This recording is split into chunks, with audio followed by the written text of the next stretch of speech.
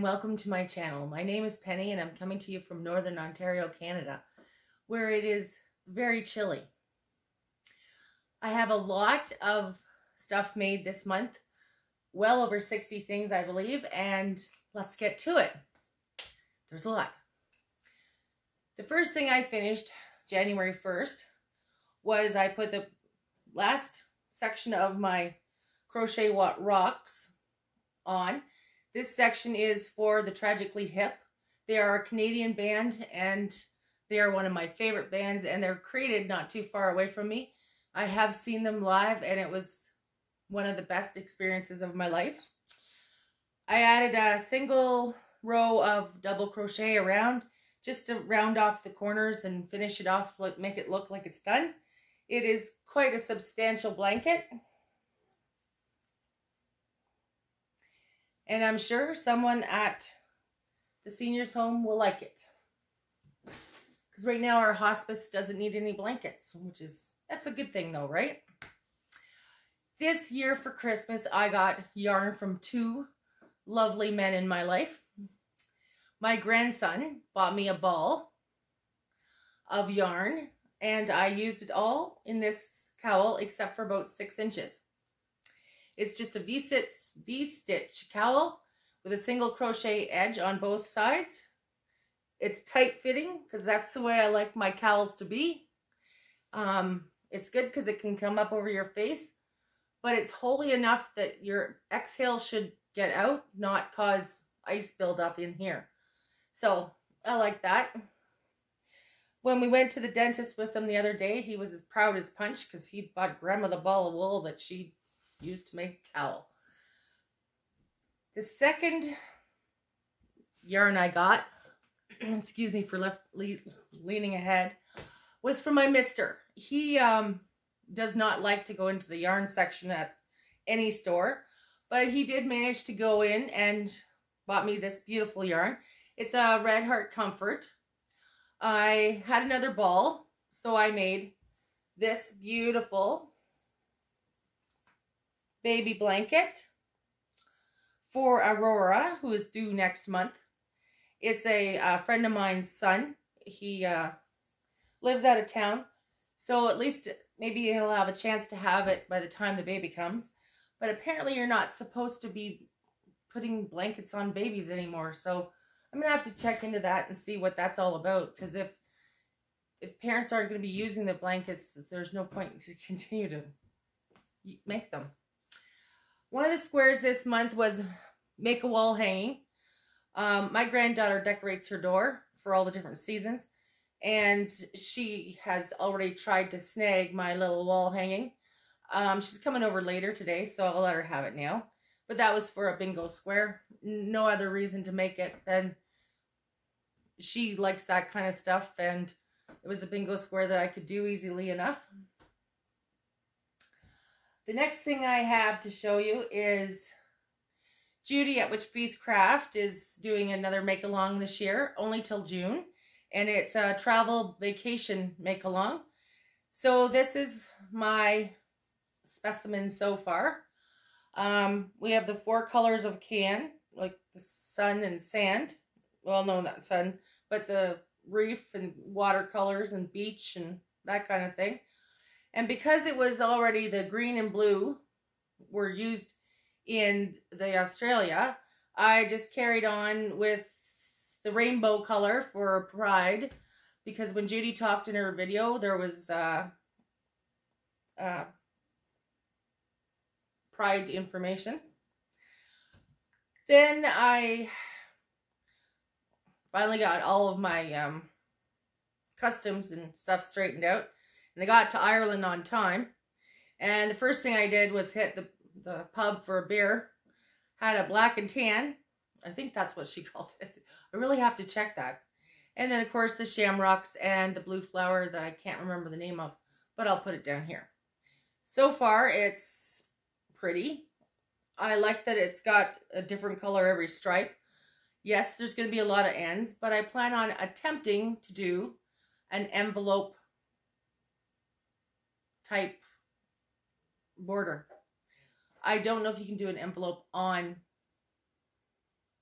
the ripple, but I will at least do the sides in an envelope somehow. Um, the next thing I made was, I'm just going to use the little things first, was a soap sack for myself. I have to buy a special soap. And when you throw out those little pieces, it's like putting money in the garbage can. So I'm going to try this. I have never tried a soap sack. So, and I had this, this out because I was making these little face scrubbies. That is grandma's favorite um, dishcloth pattern, only a lot smaller. I think they're cute. And there's seven of them, and I made them for a friend, and I plan on giving them to her soon. And then Hatapalooza. Mimi at um, Mimi's Mad Mimi's Crochet and Farming is having a bought a uh, bag of days Hatapalooza. And this is the blue beanie from week one. And this is the sun hat, bucket hat from week two. I made it out of cotton and I'm going to keep that one for myself. Um, week, week three, I believe, was cables, cabled hat. Um, I really enjoyed this and will visit this pattern again. I did already. Uh, I made a child, a smaller child size one. Um, I really, really like this. I, I'm thinking Afghan, but you know me, too many Afghan projects. I don't have the baby hat. I already gave it away, but I will insert a picture here. and this is last week's. And apparently she's picked the pink jazzy pink hat, pink beanie this week. So we will be doing that as soon as I get to some pink yarn. Um, it's minus 25 and I always like to drop off hats at the post office in really cold temperatures because I've been out and about and not had my hat, forgot my hat, and have had my ears almost freeze. I don't forget a hat now because my hair is so short, but I've been there and I make hats. I have this yarn. I like to knit. Why not? So this one will be being donated in the post office shortly. Friday is the high is minus 25. So it'll go in there probably Thursday night or Friday morning. I tend to do gender neutral. And um, this one's got some pink on it. So I will save it for another project that we can talk about later. And I did a whole pink one. So those ones will go into my Christmas box. I don't have my little penguin. So this is another pride and joy. Only because of the person I made these for. I made these for a lovely lady. There. There's 40 of them. Um, all backpack buddies. Snowman backpack bunnies. Backpack buddies, not bunnies, words. Um, she's a dear, sweet friend of mine, and she's taking them to Belize. The kids in Belize don't ever see snow. And um, I will insert pictures of all 40 of them. I won't make you sit here and watch every last one. But I just pulled out my little scrap bin and kept making different colored hats. And there is no two hats the same color in here. Hi, editing Penny here. When I was editing this video, I realized I forgot one of my WIPs. It was a dog bed for Chai. The last thing I have to show you, and it's the proudest thing I've got to show you, is I've talked about two round grannies and two round grannies for years now. And I've been making two round grannies for years now. Every time I had I had tons of scraps, I went through them all and used all the different colors I could. And I sorted them all in a bag and I had a big bag full of two round grannies. And I I've tried to join them multiple different ways with black and white and cream. I've tried gray, I've tried single crocheting them together, whip stitching them. Nothing looked good. Nothing looked good. And then somewhere along the line, I'm not sure if it was Judy or Mad Mimi, somebody, somebody, maybe it could have been Charmed Grammy said Battenberg. And boom, the light went off in my head. Years ago, when she posted that video, I tagged it, and that's when my two arm grannies was starting in my mind.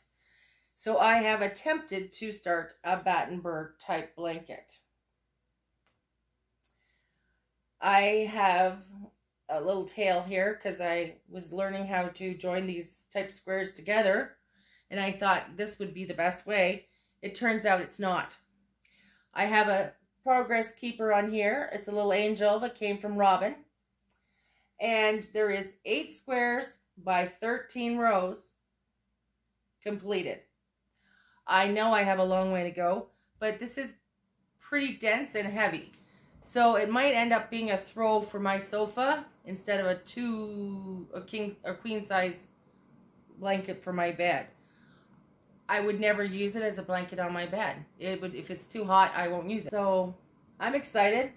It is, you know, there's a lot of ends. Here's the back. I like the back just as much as I do the front. Um, there's there's two ends per square. But that's okay. I don't mind doing ends. That's it. That's all I have to share. Thanks. And if you get a chance, play with a little bit of yarn.